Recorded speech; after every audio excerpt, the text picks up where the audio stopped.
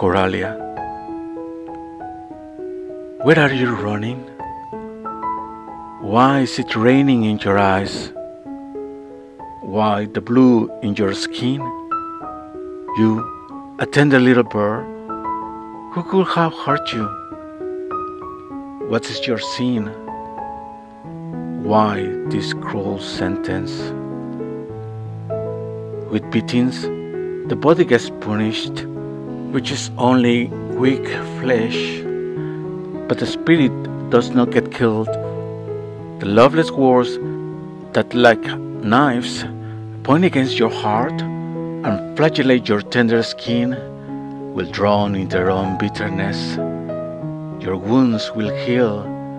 You will smile and be happy again. These are only rainy days. The sun will shine again. Your flower of womanhood will mature. You will love again.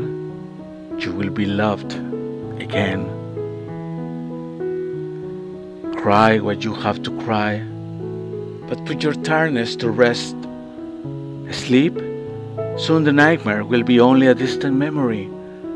There will be other seasons, other dawns, other sunsets, with the good days and also with their good nights.